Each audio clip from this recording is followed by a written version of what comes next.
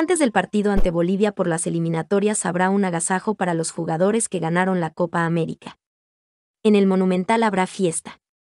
Los campeones de América serán homenajeados el jueves en la previa del partido que la selección argentina jugará ante Bolivia en el Estadio Monumental por las eliminatorias sudamericanas para el Mundial de Qatar 2022. Será el primer encuentro de local luego del título en la Copa América que se disputó en Brasil y la AFA tiene preparado un evento especial. Además, el partido entre Argentina y Bolivia significará el regreso del público a un estadio después de un año y medio.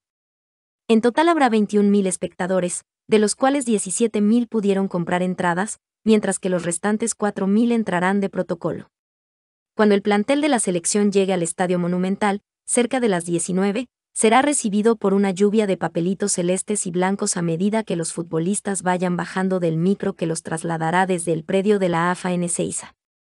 Además, durante la previa del partido que comenzará 20:30 habrán shows musical del que participarán la actriz y cantante Jimena Barón, el grupo de cumbia pop Los Totora, el cantante cordobés Lucra quien interpretó la canción de Argentina que ganó el título, llamado El Campeón, y el reconocido DJ Fer Palacio.